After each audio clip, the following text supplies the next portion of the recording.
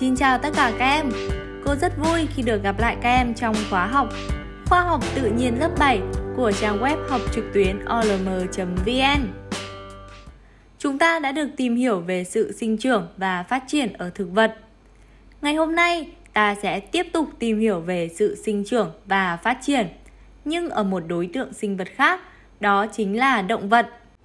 Vậy sự sinh trưởng và phát triển ở động vật sẽ gồm những giai đoạn nào và ứng dụng được gì trong thực tiễn? Cô trò chúng mình sẽ cùng tìm hiểu bài học ngày hôm nay. Sinh trưởng và phát triển ở động vật. Bài học này gồm 3 nội dung chính.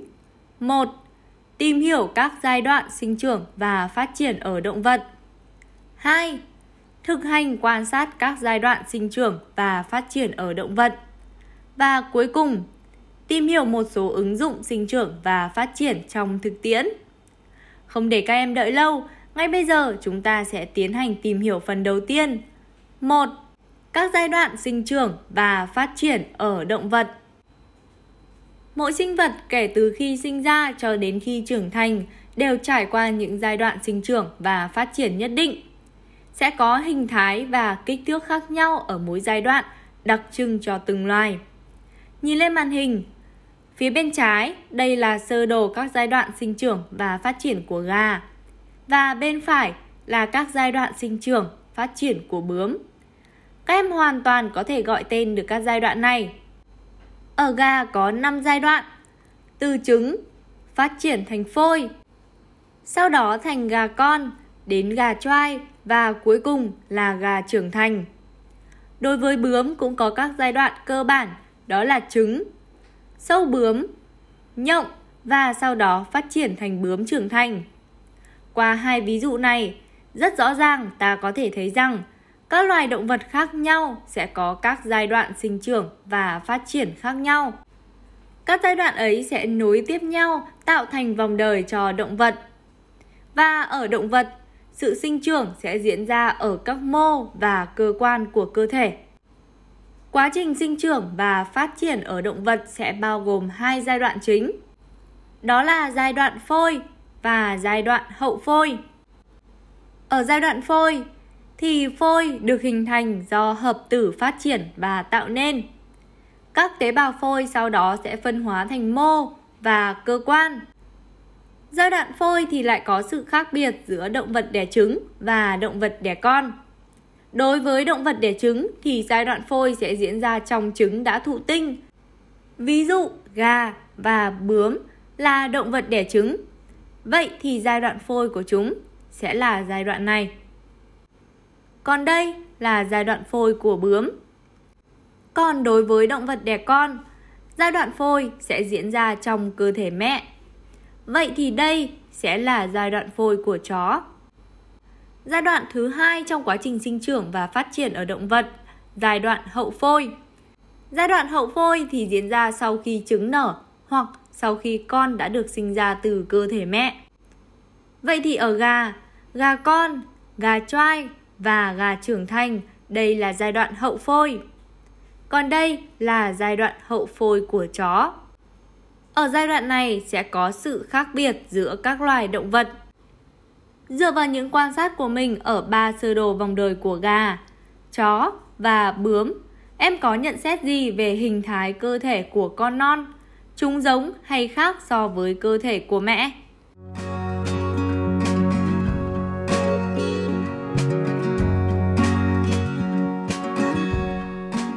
Chính xác rồi. Gà con và chó có hình thái giống với cơ thể của mẹ sau khi được sinh ra hoặc nở ra từ trứng. Nhưng bướm thì lại khác hoàn toàn so với hình thái của mẹ.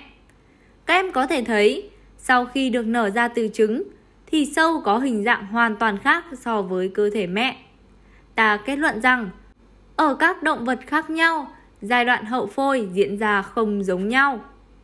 Như vậy là cô trò chúng mình đã tìm hiểu xong về các giai đoạn sinh trưởng và phát triển của động vật. Tiếp đến phần 2, thực hành quan sát giai đoạn sinh trưởng và phát triển ở động vật. Cô đã chuẩn bị một video về các giai đoạn sinh trưởng và phát triển của ếch Nhiệm vụ của các em sau khi xem được video này Đó là xây dựng được vòng đời bao gồm các giai đoạn sinh trưởng và phát triển của ếch. Bây giờ chúng ta sẽ cùng xem video này nhé. Ếch mẹ sẽ đẻ hàng trăm quả trứng. Những quả trứng này sẽ được bảo vệ bởi một chất trông giống như là thạch bao xung quanh.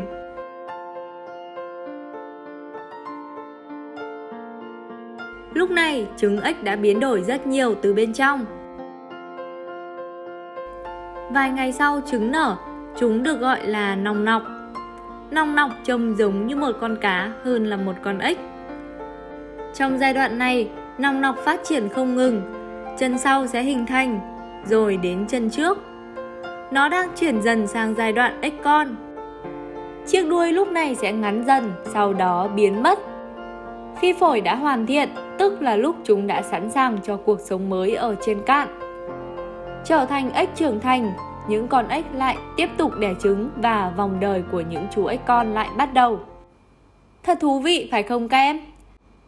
Dựa vào những thông tin vừa rồi thì cô đã xây dựng được một sơ đồ các giai đoạn trong vòng đời phát triển của ếch.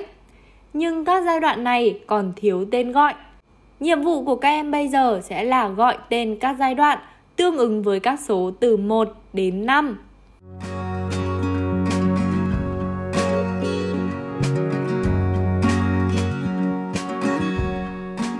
Chúc mừng các em, câu trả lời rất chính xác. Tên của các giai đoạn trong vòng đời của ếch tương ứng với các số từ 1 đến 5. Đó là trứng, sau đó đến nòng nọc. Nòng nọc có chân, ếch con và cuối cùng là ếch trưởng thành. Cũng liên quan đến vòng đời của ếch, cô có câu hỏi tương tác thứ hai. Theo các em thì các nhận định dưới đây đúng hay sai? 1. Ếch đẻ trứng ở trên cạn. 2. Cơ thể con non giống với cơ thể mẹ sau khi nở ra từ trứng. 3. Ở giai đoạn nòng nọc, chân sau hình thành sớm hơn chân trước. 4. Ếch trưởng thành có phổi hoàn thiện và sống được ở trên cạn.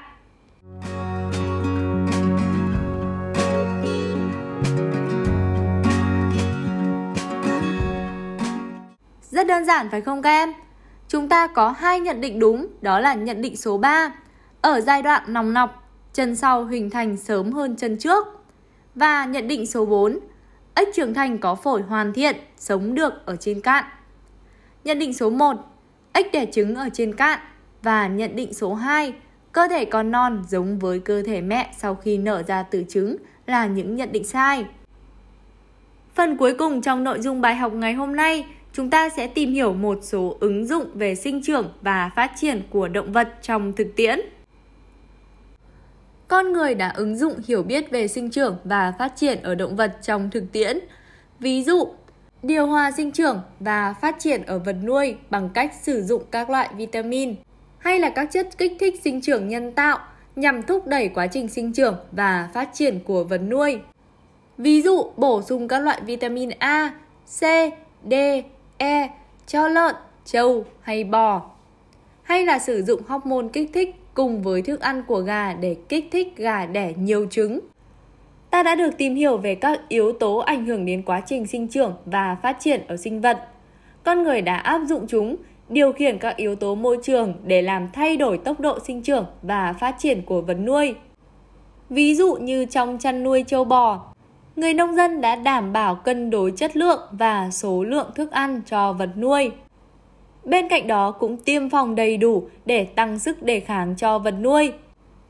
Cải tạo chuồng trại đảm bảo đủ ánh sáng, sử dụng hệ thống sưởi ấm và quạt mát tự động, vừa giúp cho vật nuôi sinh trưởng và phát triển ổn định, lại vừa tiết kiệm sức lao động của con người.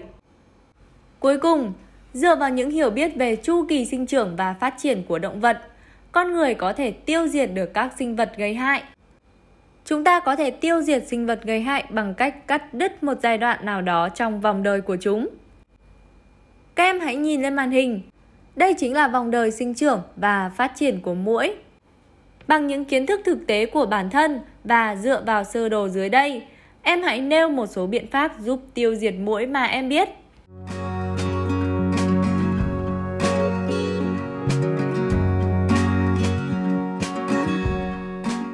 Rất chính xác, ta có một số biện pháp giúp tiêu diệt muỗi như sau. 1. Vệ sinh môi trường sống sạch sẽ và khô thoáng.